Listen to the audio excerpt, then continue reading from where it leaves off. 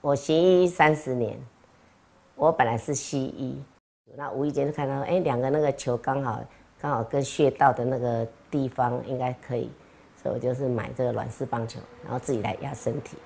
所以我刚好去那个接触那个自然疗法，那那个自然疗法里面就是有中医的一些原理，所以我就刚好以那个结合中医跟西医的方法，那从那个就从头啦、腹部啦，然后那个背部啦，每个点，然后只要你找出你自己的痛点，你的痛点就是你自己病的那个地方，那个那个来源。这样可以，就至少可以帮助改善一些。就是说，你特别可以找那个你自己的痛点压久一点。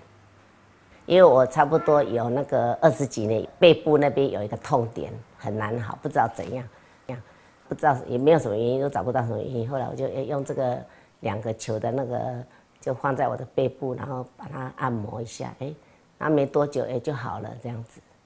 所以我就说，哎，那这样可以，就是说帮助很多人，就是说因为。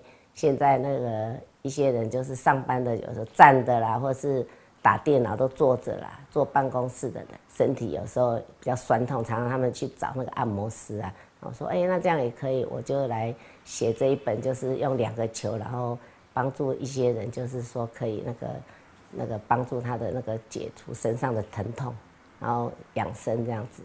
在进行穴道按摩之前，请在适当环境施做。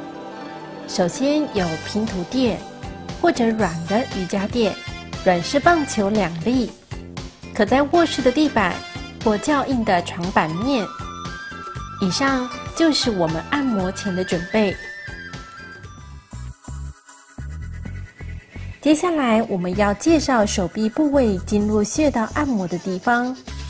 首先，第一个穴位是在手臂与背部之间的肩胗穴位。再来是挠会穴位，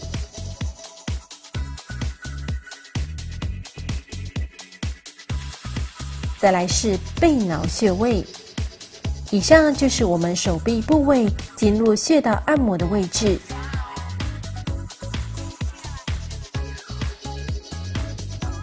接下来我们要进行手臂部位经络穴道按摩的施作，在施作的过程中。因为有几个部位不容易操作，或者是不方便按压到，所以我们将有所忽略。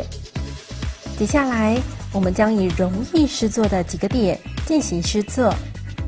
首先，我们以球按压肩贞穴位，在心中默数十次，将可预防肩部疾病，都有治疗效果。再来，我们按压挠会穴位。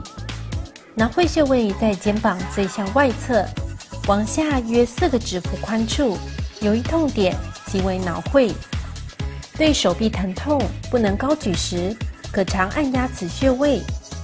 常见于俗称五指肩病患者，可自行按压进行改善。最后，我们按压臂挠穴位，将手肘呈九十度弯起时。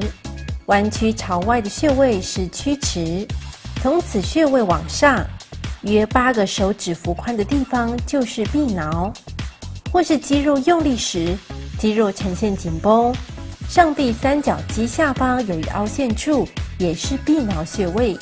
对眼睛疲劳、手臂疼痛可改善，常按压此也可纤细手臂。在按压手臂经络穴位的时候。两手臂都要进行施作，所以我们换到另外一手臂，同时按压肩贞穴位。按压肩贞穴位可以主治肩部疾病。我们一样在心中默数十次进行按压。再来是挠会穴位，挠会穴位在肩膀最向外侧，往下约四个指腹宽的地方，有一痛点即是脑会。对手臂疼痛不能高举时，可常按压此穴位。比如五十肩的病患者，即可以自行按压。最后，我们按压臂挠穴位，将手肘呈九十度弯起时，弯曲朝外的穴位是曲池，从此穴位往上约八个手指幅宽的地方就是臂挠，或是肌肉用力时，肌肉呈现紧绷。上臂三角肌下方有一凹陷处，也是臂挠。对于眼睛疲劳、手臂疼痛都可改善。常按压此穴位，也可纤细手臂。以上就是手臂部位经络穴道按摩的实作。